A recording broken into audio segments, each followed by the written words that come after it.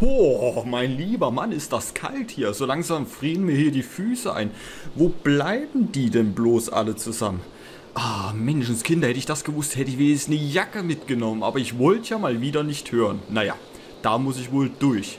Oh, sehr schön, da seid ihr auch schon. Ja, genau, hier stehe ich. Und zwar werden wir uns heute mit dem Gunderbadberg beschäftigen. Habt ihr mir eigentlich eine Jacke mitgebracht? Oh, nee, sieht wohl nicht so aus. Gut, dann müssen wir es schnell hinter uns bringen. Aber bevor es wieder losgeht, habe ich hier die Umfrage aus dem letzten Video und dort kann man ganz gut sehen, dass die Mehrheit sagt, ja, Ero Iluata ist ein guter Gott. Und deshalb kann ich nur zustimmen, auch wenn er sich nicht großartig so gezeigt hat und äh, auch nicht allzu viel gemacht hat, aber er ist ein sehr gnädiger Gott. Das müssen wir nämlich anerkennen.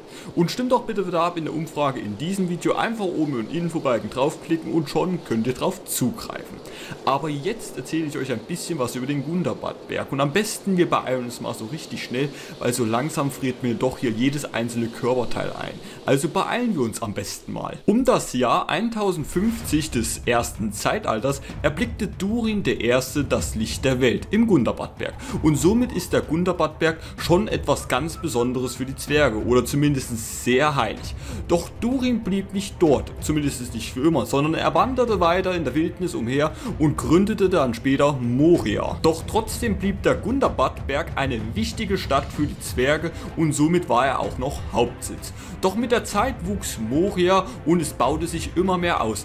Immer mehr Zwerge lebten dort und haben sich immer mehr vermehrt in diesen großen riesigen Hallen. Und der Gundabad wurde immer uninteressanter und immer weniger Zwerge waren dann dort. Doch ab dem zweiten Zeitalter änderte sich der Frieden, denn da war wirklich ruckzuck Schicht im Schach. Denn die Orks standen direkt vor der Haustür und haben gar nicht erst geklopft, sondern haben gleich die ganze Tür eingetreten und haben die Zwerge überfallen. Die Zwerge waren schockiert, waren nicht darauf vorbereitet und somit wurden sie vertrieben zurück nach Moria. Und der Gundabadberg gehört halt jetzt den Orks. Die Orks haben dann gleich angefangen Lager aufzubauen und haben auch den Gundabad von innen komplett verunstaltet und haben den Zwergen Boden entweiht. Für die Zwerge war das das totale Chaos, denn dort ist Durin entstanden und nun wird dieser Fleck entweiht. Im Jahr 1300 des dritten Zeitalters wurde Angmar gegründet und die Orks haben gar nicht lange gefackelt und haben sofort dem Hexenkönig von Angmar gedient.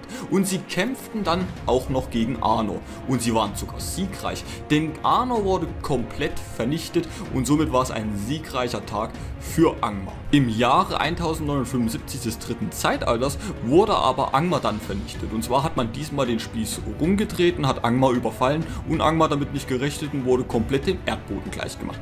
Die Orks, die überlebten, sind wieder abgehauen zu dem Gundabad-Berg und bauten sich dann dort weiter aus. Doch die Zwerge wollten nicht mehr zugucken, wie ihre Heimat einfach so verschandelt wird und deshalb haben sie im Jahr 2793 des dritten Zeitalters angegriffen und sie haben versucht, keinen am Leben zu lassen. Sie sind durch die Orks durchmarschiert wie ein Rasenmäher und haben jeden einzelnen umgebracht und die Zwerge waren sogar noch siegreich. Doch das Glück war nicht ganz so lange bei den Zwergen, denn die Orks kamen zurückgekrochen und haben die Zwerge wieder überfallen und sie haben auch den Berg wieder zurückerobert. Das Problem war wahrscheinlich, dass die Zwerge wieder nicht darauf vorbereitet waren und es waren wahrscheinlich auch zu wenig Zwerge und deshalb waren sie dieser Masse an Orks nicht gewachsen. Es haben halt Soldaten gefehlt. Während der Zeit als Smaug getötet wurde, hatten die Orks ein riesiges Heer zusammengestellt und sie wollten sofort zum Erebor marschieren, um die Stadt dem Erdboden gleichzumachen.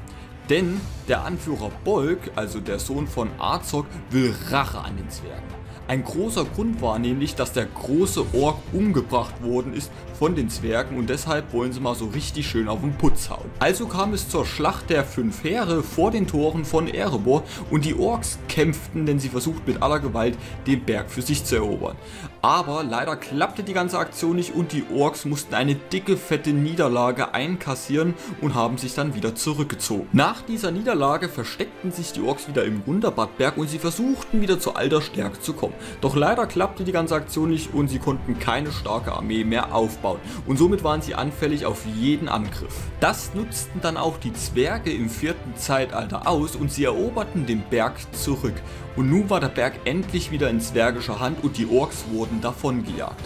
Ein erfolgreicher Sieg für die Zwerge und halt eine dicke Niederlage für die Orks. So, das wäre auch alles gewesen über den Gundabadberg und so langsam will ich doch nach Hause, denn es ist einfach arschkalt hier und ich habe ehrlich gesagt keinen Bock, dass ich hier zusammenfall.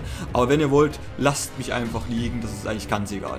Am besten, ich mache mich jetzt nach Hause, ich wünsche euch allen noch einen schönen Tag und bis zum nächsten Mal. Unterstützt mich doch bitte bei Facebook, Twitter und Instagram, da würde ich mich sehr freuen und unterstützt doch auch bitte meine Kollegen und zwar einmal der Herr der Ringe Stories, Tolkien erklärt, Mythen aus Mittelerde und Artco. Ich wünsche euch allen noch einen wunderschönen Tag, tschüss und bis bald.